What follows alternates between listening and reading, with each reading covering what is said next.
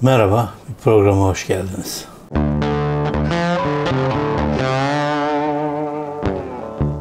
Gazetecilikte e, teksip yemek çok hoş bir şey olmasa da çok da olağanüstü bir şey değildir esasında. Hemen hemen her gazeteci bir teksip yemiştir. Ben 44 yıllık meslek hayatımda Günaydın Gazetesi'nde bir kere teksip yedim. Haksız te- teksipti ama yayınlamak zorundaydım. Onu da anlatayım kısaca. Lerzan Öke diye şu anda yaşıyor mu bilmiyorum. Bir kadın beni bir sanat görüşmesine çağırdı.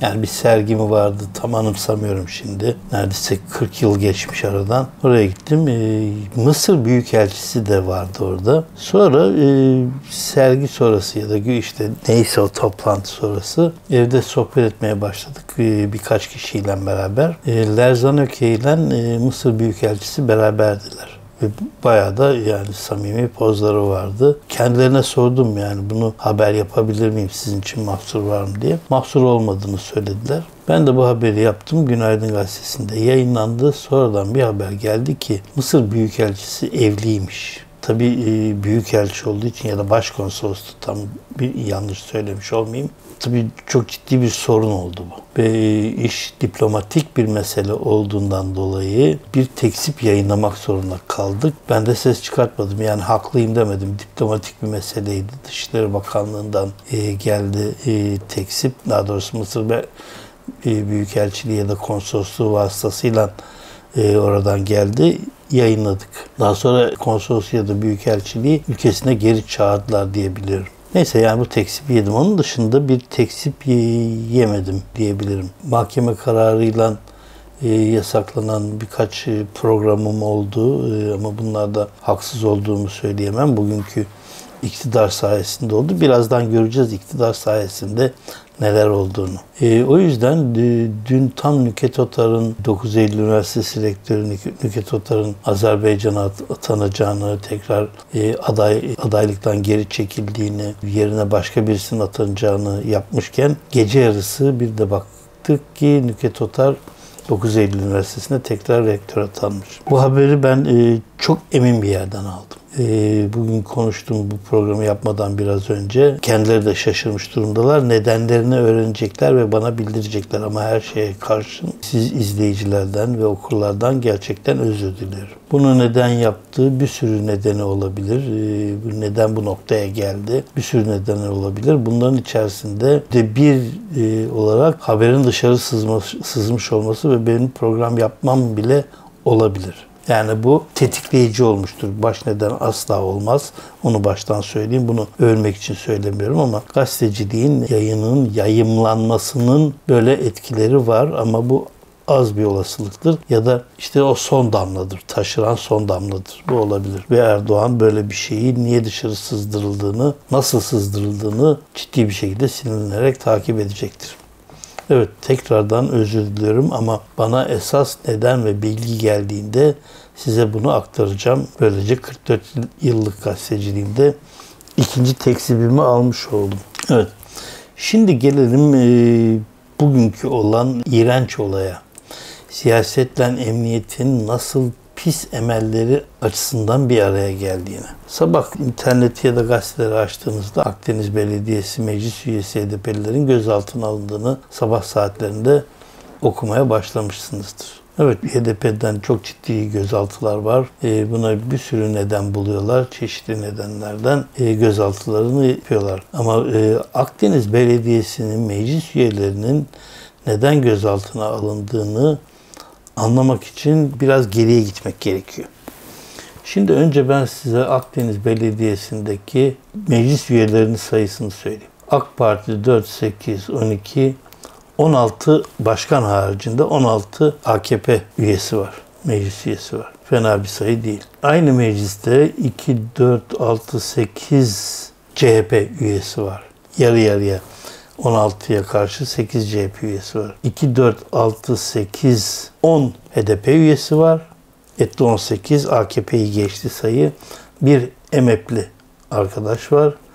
İki de bağımsız arkadaş var. Yani şöyle söyleyeyim 21'e karşı 16 oy var.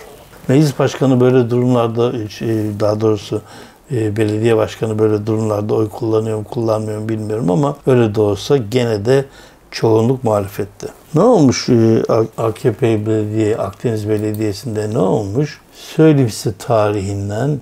Önce 10 Haziran 2022 tarih işte şeyinde Diyarbakır Büyükşehir Belediye Başkanlığı ile Akdeniz Belediyesi arasında yapılacak olan kardeşlik anlaşması ile protokol hazırlama ve sözleşme imzalama konusunda Başkan Gültak'a yetki verilmesi, Mustafa Gültak'a yetki verilmesiyle gündem maddesi görüşülmüş. CHP ve HDP'li üyelerinin çoğunluğu oy çokluğuyla reddedilmiş. Yani Diyarbakır'dan kayyımla yönetilen e, bir belediyeyle belediye kardeşliği reddedilmiş. Ayrıca hizmetler için istenen 20 milyon TL borçlanma talebi de reddedilmiş.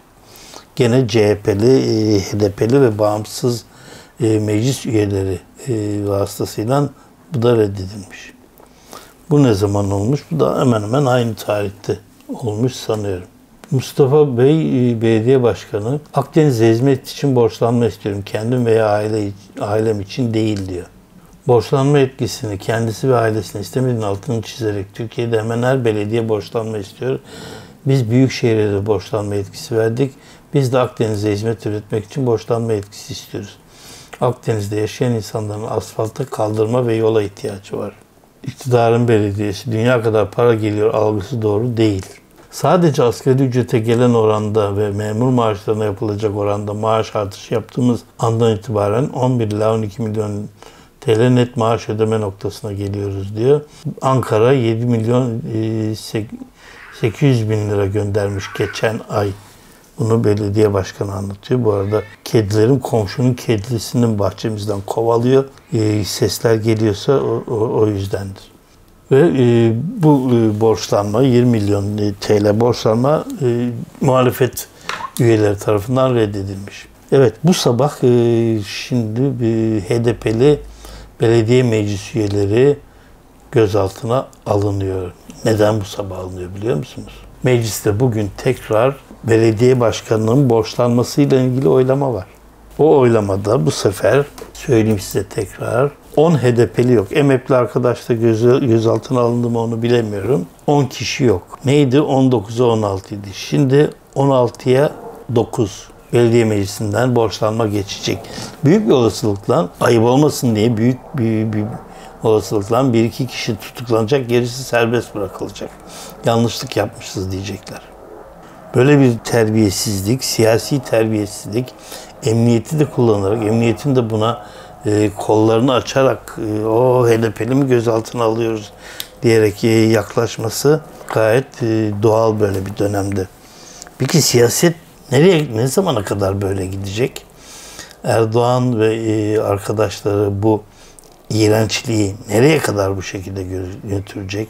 İşte ahim kararlarına rağmen Avrupa Konseyi'nin aldığı e, sizi çıkartırız, sizi durdururuz, dondururuz demesine karşın nereye kadar bu saçma sapan kararlarla Türkiye idare edilecek onu bilmiyoruz. Peki e, şimdi mahkeme ne yapacak? Mahkeme bilmiyor mu bugün e, mecliste, belediye meclisinde oylama olduğunu ve bu gözaltıların o yüzden yapıldı. Şehir kulübünde büyük bir olasılıkla akşam iki piş birik atarken, iki kol e, kağıt oynarken bunu konuşmamışlar mıdır ilçe emniyet amiriyle, müdürüyle, büyük olasılıkla ilçe başkanıyla? Evet bunların hepsi konuşulmuştur. Bu arada Damla ve Dober zaferle geldiler bahçeye sokmamakla. Evet böyle bir iğrenç siyasetin içerisindeyiz. Kendi hakimiyetini kurmak için, kendi işlerini halledebilmek için yaptıkları bir iş bu. Her şey araştırılabilir tabii. Yani neden borçlanıyor? Belediyeler borçlana borçlana ne kadar nereye kadar gidecekler? Bu borcun e, nereye harcanacağı? İşte atıyorum e, Ankara İller Bankası size 7.800 gönderiyorsa ve sizin sadece işçi ve memur harcamanız 12 ise o zaman niye Ankara ile konuşmuyorsunuz? Bunun sağlıksız olduğunu söylemiyorsunuz da İller Bankası vasıtasıyla kapatmıyorsunuz da ayrıca borçlanıyorsunuz. Hadi yani e, CHP belediyesi olsa, HDP belediyesi olsa e, Ankara e, İller Bankası dinlemeyebilir sizi. Ya da cid- dinleyip de ciddiye almayabilir. Ama AKP'siniz ve sizi dinlememesi sizin sorununuza çözüm bul- bulmaması mümkün değil. Bu soruna bu şekilde çözüm bulmak varken neden bu böyle bir iğrenç noktaya götürüyorsunuz işi? Esas tartışılması gereken nokta bu. Şimdi e, mahkeme ne diyecek? E, neden gözaltına alındıklarını söyleyecek. Mesela şey mi yapacaklar? Diyarbakır Belediyesi hani kardeş olmak istedikleri Diyarbakır Belediyesi e, daha önce Gültan Kaşanak vasıtasıyla e, Kandil'e para gönderiyordu. Kur fiyatları biraz değişince Kandil Cemil Bayık o parayı Selahattin Demirtaş'a geri gönderiyordu. Selahattin Demirtaş da haklı olarak parasını Ahmet Hakan'dan bunu haber olarak yazan Ahmet Hakan'dan istiyor. Ahmet Hakan'da o kadar para var mı bilmiyorum ama cevap da vermedi galiba. Bugünkü yazısını okumadım. Şimdi siz bunu İller Bankası'yla ve Erdoğan'la ya da belediyeden, belediyelerden sorumlu bakanlar niye çözmüyorsunuz? Ya da bakan yoksa bile AKP içinde belediyelerden sorumlu bir başkan yardımcısı mutlaka vardır. Ha başkan yardımcısı ne yapacak? Başkan yardımcısı şöyle bir şey yapacak. Arkadaşlar bize konuyu iletti. Ben konuyu 2-3 gün içerisinde açıklayacağım diyeceğim ama bunu Sayın e, Başkan Recep Tayyip Erdoğan açıklayacak diyecektir. Çünkü hiç kimsenin bir yetkisi yok. Kendi evlerine girdikleri sınır haricinde hiçbir bakanın yetkisi yok. Hangisi bir şey söylese, efendim ben şunu böyle söylüyorum ama gene de 3 gün sonra devlet başkanımız açıklayacaktır diye açıklama yapıyorlar. Böyle bir pis noktada siyaset. Ve bugün Akdeniz Belediyesi meclis üyelerinin, HDP'lilerin gözaltına alma nedenleri belediye başkanının borçlanmasına bir önceki oylamada hayır dedikleri için. Bu istediğiniz davayı açın söylüyorum. Bu utanmazlıktır. Bu rezilliktir. Bu şerefsizliktir.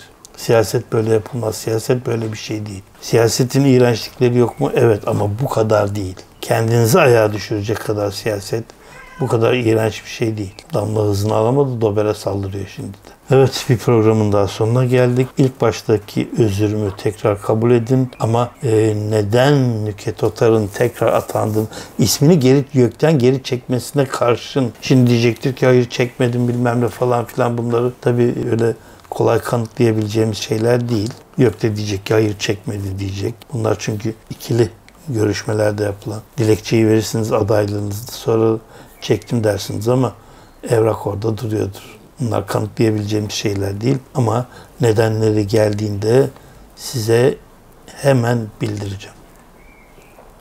Evet bir programın daha sonuna geldik. Bir dahaki programda görüşmek üzere.